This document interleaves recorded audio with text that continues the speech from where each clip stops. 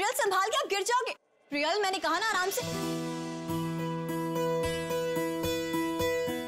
दी वो I am sorry दी विद्या तू sorry क्यों कह रही है? तू भूल गई है क्या? जब हम प्रियल की एज के थे तो हम इससे भी ज़्यादा मस्ती खोर थे। हेलो मेरी गुड़िया। अरे आप रेडी हो गए। ये लो आपके लिए।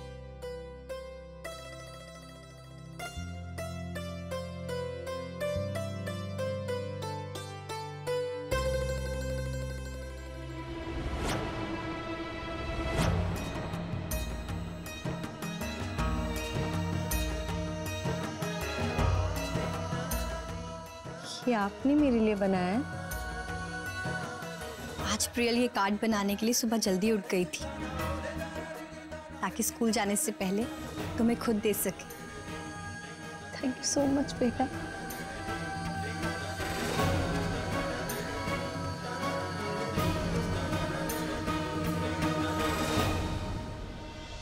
Can you believe that Jigar?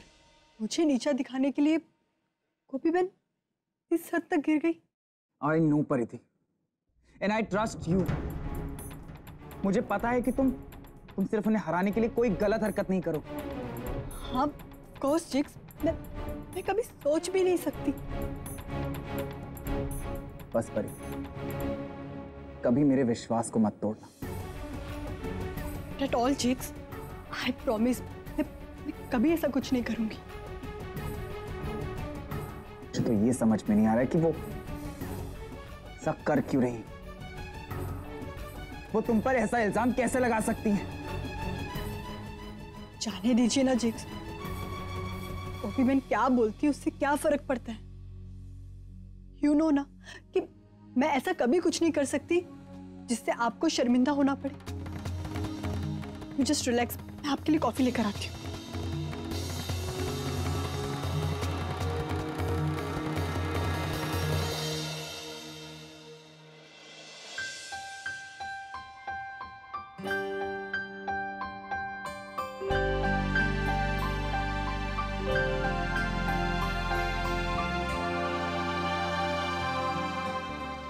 अरे नैया देखो ना सच अ ब्यूटीफुल कार्ड ना, प्रियल ने अपने हाथों से बनाया है स्पेशली मेरे लिए।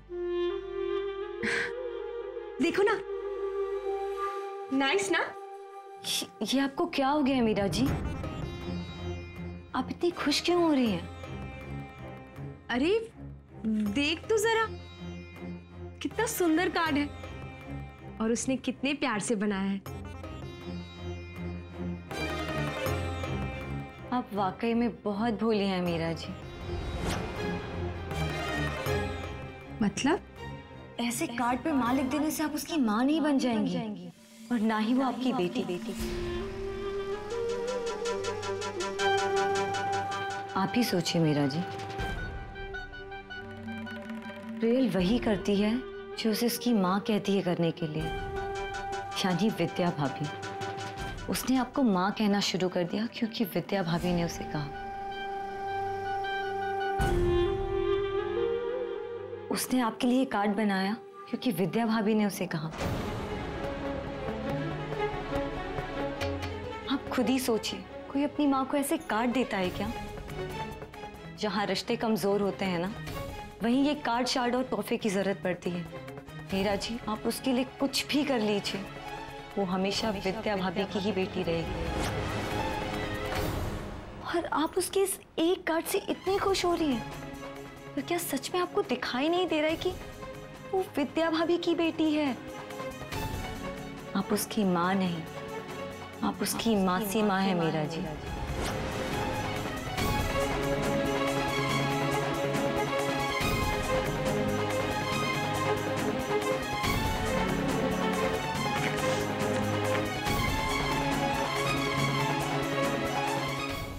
नहीं। मैं प्रियल की माँ बनकर रहूँगी। विद्या ने मुझसे मेरा बच्चा छीना था ना? अब मैं उससे उसकी बच्ची छीनूँगी।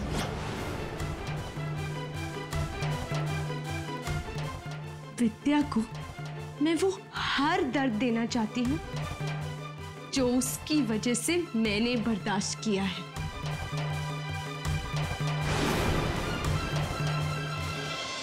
अंगारिका बेन हमें और भी वैरायटीज बनानी होगी घर चोला की। फिकर नाट गोपी बेन एक से एक गरचोला बना देंगे। आप खाली आवाज़ कीजिए। थैंक यू सो मच ये औरतें तो बहुत पहुँची हुई निकली। एक ही रात में काम करके इन्होंने ऑर्डर भी ले लिया और साथ ही साथ में 25 लाख एडवांस भी ले लिए। आ, मुझे आपसे एक बात भी करनी थी। वो क्या है ना अंगारिका बेन मैंने आपसे कहा था कि जैसे ही मुझे चेक मिलेगा तुरंत मैं आप सबका पगार एडवांस में ही दे दूँगी। बस क्या बात है ना चेक को क्लियर होते होते दो दिन लग जाएँगे। और उसके बाद ही जैसे ही क्लियर होगा ना उसी दिन मैं आपको आपके पैसे दे दूँगी। मतलब? दो दिन बाद पैसे दोगे आप?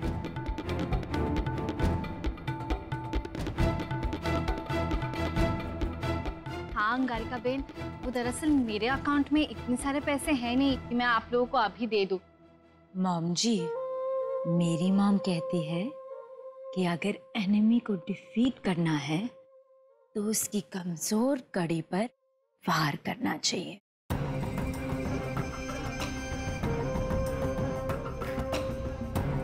Do you know what I mean? Yes I know exactly what you mean and I think Gopi बहन की इस ट्रेन की कमज़ोर कड़ी मुझे मिल गई है। पैसा अच्छे अच्छों की नीयत बदल देता है गोपी बहन। अब ये चूहे बिल्ली का खेल खत्म। अब होगा डायरेक्ट अटैक ताकि ये ट्रेन भी पटरी से उतर जाए और आपके सपने भी। परिधि बात कर रही मेरी बात ध्यान से सुनना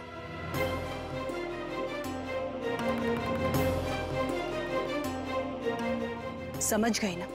जैसे कहा है अब वैसे ही करना। अब मुझे कल सुबह का इंतज़ार रहेगा मोना। क्योंकि कल का सूरज गोपी बहन के बिज़नेस पर हमेशा हमेशा के लिए अंधेरा कर देगा। मानना पड़ेगा आपको मॉम जी। अरे आपने तो मौका देखकर एकदम चौका मारा है। फिर से कड़वी दवाई। कमाल करती हैं आंटी जी बच्चों की तरह जिद करती हैं आप। एक बात बताइए कृष्णा बेटा बच्चों वाली हरकतें करने से ये कड़वी दवाई मीठी हो जाएगी? लेकिन सोचिए इस कड़वी दवाई के बाद आपको क्या मिलने वाला है? क्या मिलने वाला है? Just minute. गाजर का हलवा और वो भी मेरे हाथ का बनाया हुआ। अब बताओ बच्चों वाली हरकत कौन कर रहा है?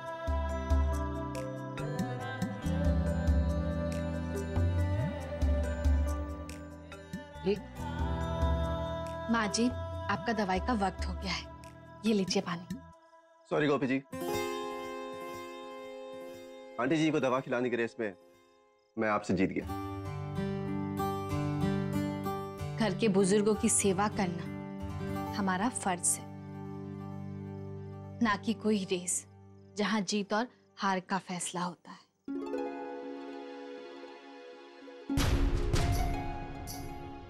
आपकी बेटी बिल्कुल आप जैसी सबकी बोलती बंद कर देती है। अच्छी ट्रेनिंग दी है आपने। आंटी जी, मैं तो सिर्फ़ आपको कड़वी दवा खिलाने आया था और गुड नाइट कहने आया था। दवा आपने खा ली? गुड नाइट और हाँ गाजर का हलवा खाना मत भूलिएगा। जय श्री कृष्ण। धन्यवाद। गुड नाइट गोपी आज तुम्हें बहुत बड़ा ऑर्डर मिला है। इसीलिए डॉक्टर कृष्णा ने अपने हाथों से ये गाजर का हलवा बनाया है। उन्होंने मुझसे ये भी कहा है कि कृष्ण भगवान को वो भोग लगा चुके हैं। तुम भी खा लो इसे। प्रसाद समझ कर ही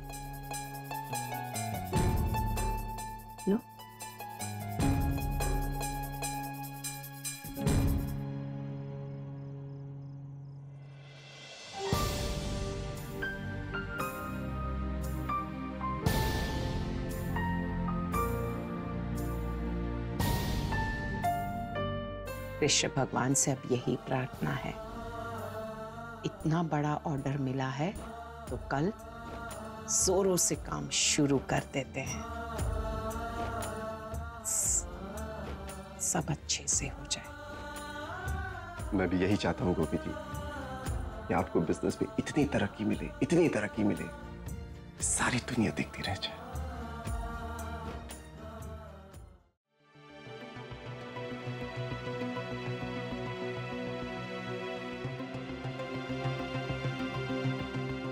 रियल कहाँ है विद्या जी? दी के पास। आजकल प्रियल मीरा जी के साथ कुछ ज़्यादा टाइम स्पेंड नहीं करने लगी है।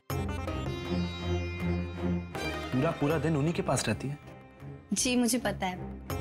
दोनों बहुत घुल मिल गए हैं ना एक दूसरे से। और आप जानते हैं दीना प्रियल के लिए नई स्टोरी बुक्स भी लेके आई हैं ताकि उसे रात को कहानी सुना सके सुलाते हुए। इसका मतलब आज फिर प्रियल उनके रूम में जाकर सोएगी। जी। क्या हुआ श्रवण जी? क्या बात है? आपको नहीं पता कि हमारी प्रियल हमसे दूर होती जा रही है विद्या जी। ये कैसी बात कर रहे हैं आप श्रवण जी? क्या हुआ है? अचानक ऐसा क्यों? क्योंकि ऐसा महसूस हो रहा है विद्या जी। कितने दिन हो गए हैं मैंने प्रियल के साथ टाइम स्पेंड ही नहीं किया है। आई I मीन mean, ये तो गलत है ना। और फिर हमसे बिना पूछे उसका स्कूल चेंज करवा दिया। और फिर 24 घंटे प्रियल को अपने पास रखती है इसका क्या मतलब है? आप गलत समझ रहे हैं श्रवण जी। आफ्टर ऑल वो उसकी मासी हैं। इतना वक्त उससे दूर रही है ना इसलिए थोड़ा सा पॉजेसिव हो गई है प्रियल को लेके। ये जो कुछ भी हो रहा है मुझे बिल्कुल ठीक नहीं लग रहा है विद्या जी। देखिए ऐसी छोटी छोटी बातों के बारे में हम सोचने बैठेंगे ना तो इस घर में शांति से नहीं रह पाएँगे।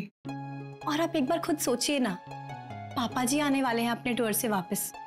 जब वो घर आएँगे और ये सब बदलाव देखेंगे तो कितने खुश हो जाएँगे ना?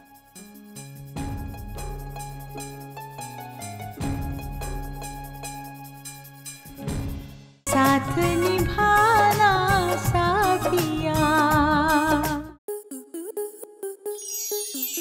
मनोरंजन पर अब नहीं लगेगा कोई ब्रेक स्टार प्लस के बेहतरीन शोज़ देखने के लिए लाइक शेयर और सब्सक्राइब करें स्टार प्लस यूट्यूब पेज को.